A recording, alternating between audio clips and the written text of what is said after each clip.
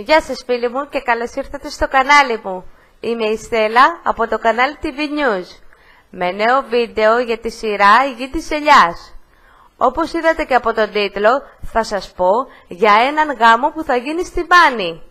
Πριν όμως σας πω, θα ήθελα να σας ενημερώσω ότι μπορείτε να κάνετε την εγγραφή σας στο κανάλι μου, είναι δωρεάν, να πατήσετε και το καμπανάκι δίπλα, να σας έρχεται ενημέρωση κάθε φορά που θα ανεβάζω καινούριο βίντεο. Ο Κωνσταντίνος θέλει την Ισμήνη και αυτό δεν αλλάζει. Δεν πρόκειται να κάνει πίσω για κανένα λόγο.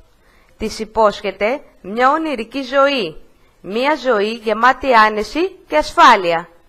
Εκείνη παρασύρεται από τη γοητεία του και σχεδιάζει το γάμο της. Μόνο που ο Λικούργος έχει αντίθετη γνώμη. Δεν θέλει το παιδί του δίπλα σε έναν απατεώνα. Ο Κωνσταντίνος, θέλοντας να τον πείσει, τον καλεί σε ένα όμορφο δείπνο μαζί με την Ισμήνη. Στόχος του ζευγαριού είναι να λυγίσει ο Λικούργος με σκοπό να γίνει ο γάμος.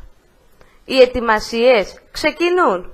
Όλα είναι έτοιμα για τη μεγάλη μέρα. Τίποτα όμως δεν είναι όπως φαίνεται. Αν σας άρεσε και αυτό το βίντεο, πατήστε like και φυσικά την εγγραφή σας. Μέχρι το επόμενο μου βίντεο, να περνάτε καλά. Γεια σας!